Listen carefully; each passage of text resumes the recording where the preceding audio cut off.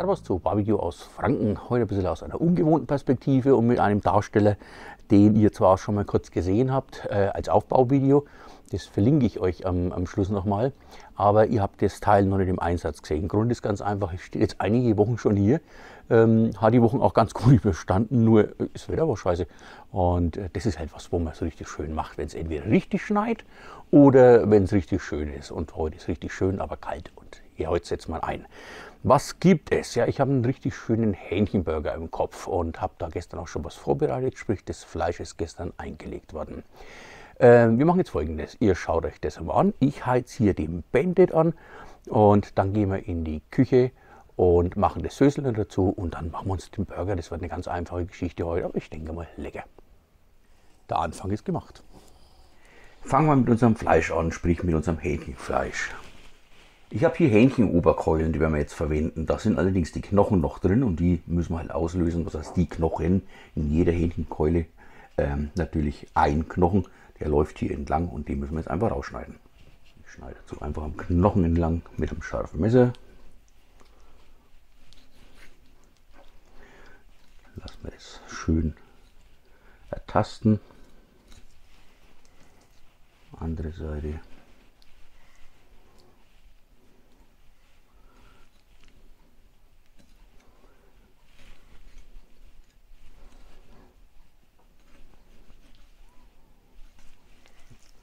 können wir das so drunter fassen, schneiden die eine Hälfte ab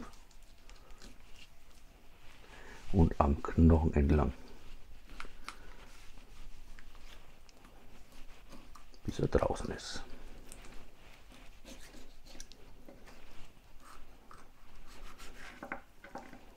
Da ist das Gelenk mit dran. Welches? So, Schönes Teil haben wir. Das mache ich jetzt mit alle und dann geht es weiter. So, der letzte Knochen.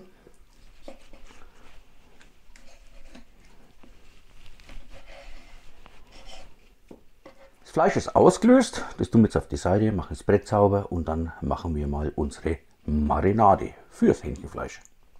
Ja, dann jetzt zur Marinade. Da brauchen wir ein paar Zutaten. Äh, ja, was haben wir? Ich habe hier eine Schüssel und da ist schon mal äh, Honig äh, drin. Dann haben wir ein bisschen Knoblauch. Ich habe Paprika edelsüß, dann habe ich Chiliflocken, Oregano und Rosmarin, Salz und Pfeffer, ein bisschen Senf, wenn wir brauchen, Zitronensaft, Sojasauce, Olivenöl und ein Schuss Weißwein. Das sollte es gewesen sein. Jetzt geht es eigentlich nur noch ans Vermischen und Zusammenrühren. Nachdem wir an der Zitrone eine essbare Schale haben, also die ist nicht gespritzt, können wir da ein bisschen was Abreiben davon auch mit dazugeben. Zitrone macht es immer gut, vor allen Dingen bei Hähnchen, da habt ihr so einen richtig frischen Touch mit drin. Alternativ könnt ihr auch eine Limette nehmen, das wäre auch okay. So, ein bisschen erwalten. Und dann geben wir da einfach einen Schuss voll Saft mit rein.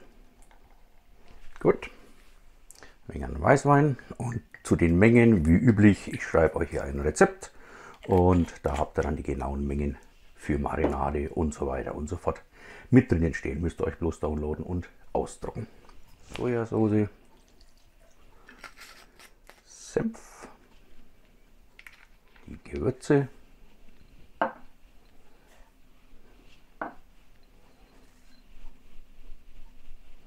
Und heute pressen wir mal ausnahmsweise unseren Knoblauch da rein.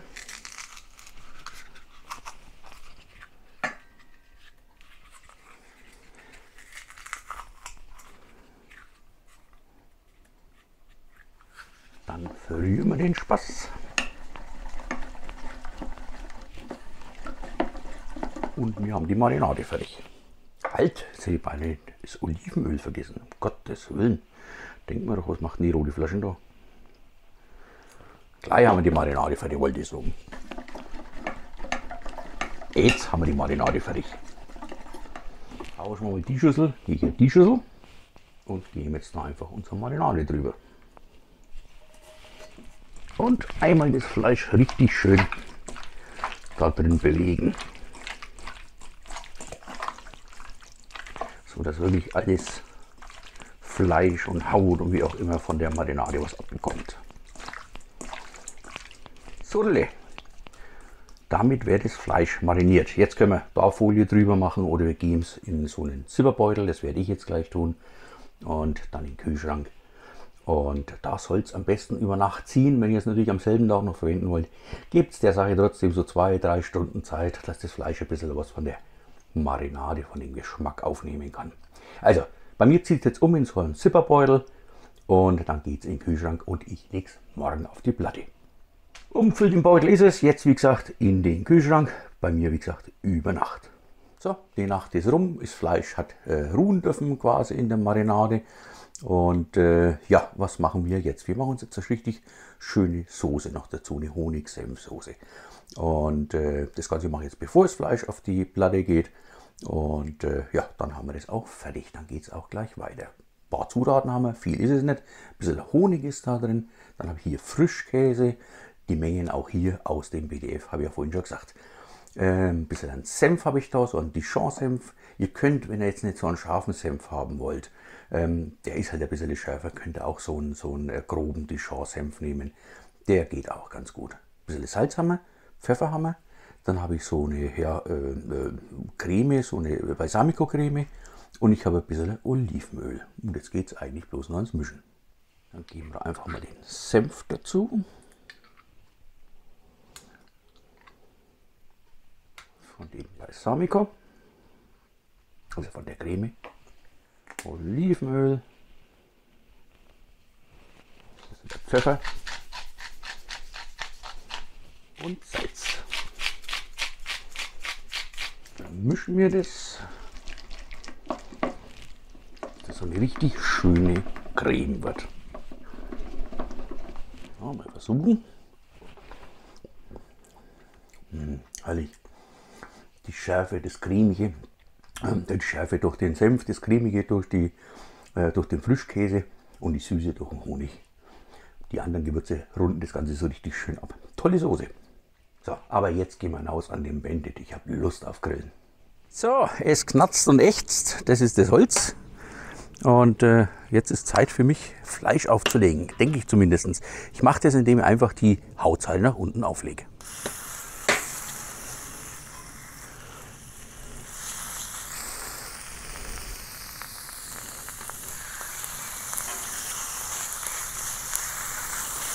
Welch liebliches Geräusch.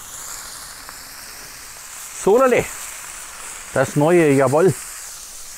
Und jetzt grillen wir das einfach und zwar jetzt richtig durch, weil, wie gesagt, Hähnchenfleisch, da sollten wir darauf achten, dass das schon komplett durchgebraten ist. Schön dabei bleiben, Fläschler Bier in der Nähe, dann macht das richtig Freude.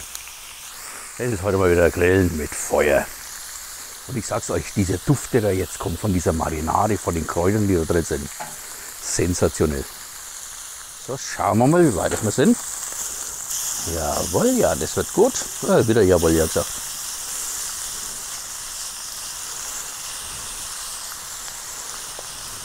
Herrlich. Einfach herrlich. Darüber, da ist mehr, da ist mehr Hitze. Das Schöne bei so einer Platte ist, ich habe hier eine heißere Zone, hier eine kältere Zone. Ich kann da wirklich schön spielen damit und kann ja mein Fleisch oder mein Gargut grundsätzlich, egal was es ist, ähm, ja, richtig schön hinbekommen. Na, Hähnchenfleisch immer durchgaren. Also ich will mindestens 80 Grad da drin haben. 75, 76, weiß nicht, ob es in der Kamera sieht, aber wir sind gleich da, wo wir hin wollen. So, mein Hähnchenfleisch ist fertig. Ich ziehe das jetzt einmal ein bisschen nach außen, eigentlich bloß zum Warmhalten. Und dann lege ich einfach ein paar Tomatenscheiben mit auf die heiße Platte, weil ich mag es überhaupt nicht. Bei Burgern, ihr macht das Fleisch oder die Burger macht ihr warm und dann kommen kalte Komponenten drauf. Dann ist der Burger eigentlich lauwarm. So ist das optimal. Ich habe hier ein richtig schönes Laugenbann. Unser Bäcker hier, der macht so richtig schöne, schöne Hamburger Brötchen. Da brauche ich gar nicht lang rumtun. Normalerweise würde ich sagen, macht ein wenig Butter drauf, aber heute gebe ich das einfach in das Hähnchenfett ein bisschen mit rein. Tomaten ein wenig drehen, das sind quasi geschmolzene Tomaten. Das Ganze heute ist so richtig rustikal. Einfach, aber richtig lecker, glaube ich. Richtig schön Geschmack aufnehmen. Und dann bauen wir unseren Burger auch gleich da zusammen. Ich gebe von meiner Honig-Senfsoße was drauf.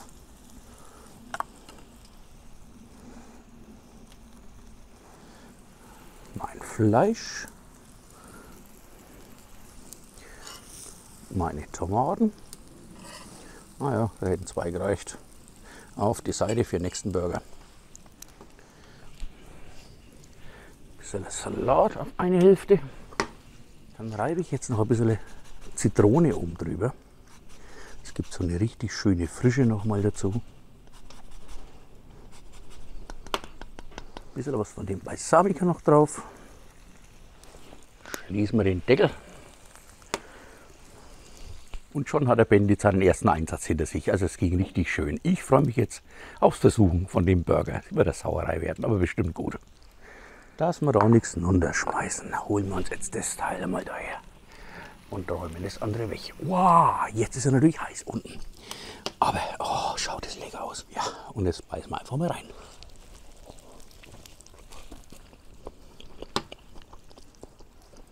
Wow. mmh. Ich lege drauf Zeit. Sensationell. Ich muss mal kurz den Mund abputzen und dann rede ich weiter. So, jetzt, also, da rennt der Tomaten davon. Retten wir noch. Was soll ich sagen? Sensationell, also wirklich richtig gut. Das Fleisch ist top eingelegt, also diese, diese, diese Marinade ist richtig extrem lecker auf der Platte gemacht. Super. Und ihr seht ja, man braucht wirklich nicht viel, da brauchst kein Käse, kein Bacon, was weiß ich was. Das Fleisch an sich, oh, ich bin gleich geräuchert, das Fleisch an sich, das ist so das Dominante und das soll es auch in dem Fall sein. Aber diese warmen Tomaten, was ich gerade schon gesagt habe, geben so einen richtig schönen, ähm, ja, will ich sagen, nochmal was, was Fruchtiges noch dazu. Ja, der Salat fürs gute Gewissen und äh, ansonsten die ganzen Komponenten als solches sensationell gut. Ich beiße jetzt nochmal rein und euch wünsche ich auf jeden Fall eine schöne Zeit bis nächsten Mittwoch.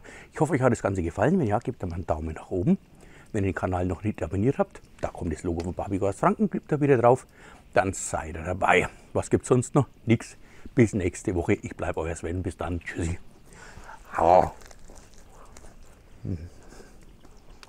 So geil.